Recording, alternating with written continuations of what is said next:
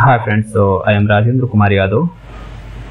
So for the today's video, I have planned to make uh, you know a simple and very small video in which I will uh, just try to tell you that how you can enable or disable the caching uh, in the browser. So most probably when you are developing some sort of application, then uh, such a thing is required uh, quite a bit actually.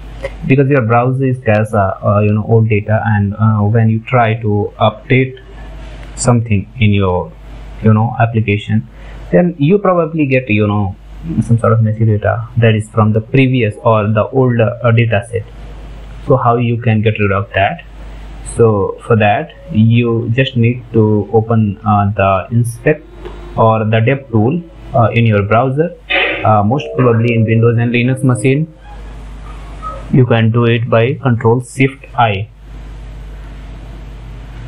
Okay so as you are able to see here there is number of options uh, uh, and number of panels. So that is elements inspection means the thing that are uh, that's all are on your browser. Then console is there then source is there network performance memory application and so.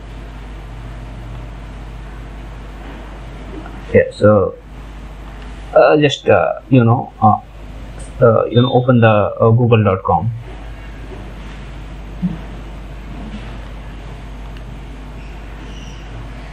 yeah so as you are able to see that here a lot of content has been uh, downloaded.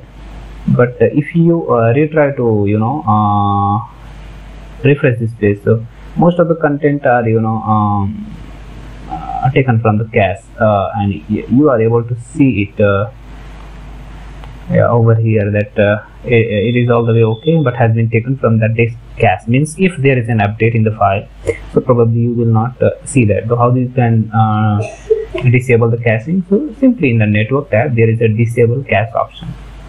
Okay? And now if you will refresh it all the content will be downloaded each and every time when you try to uh, you know visit the site as you are able to see that none of these content has been taken from the cache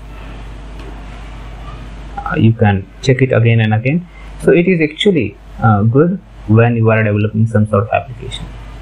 I hope and you can probably check it uh, you know uh, by once again um, uh, enabling the caching in the browser. So uh, as you are able to see that it is taken from the disk and uh, it has take about 2 milliseconds to you know get the data from the uh, from your uh, disk. I hope that it is helpful for you. If it is so then uh, please subscribe the channel and like the video. Share it with your friend. Thank you for watching it. Have a nice time. Happy coding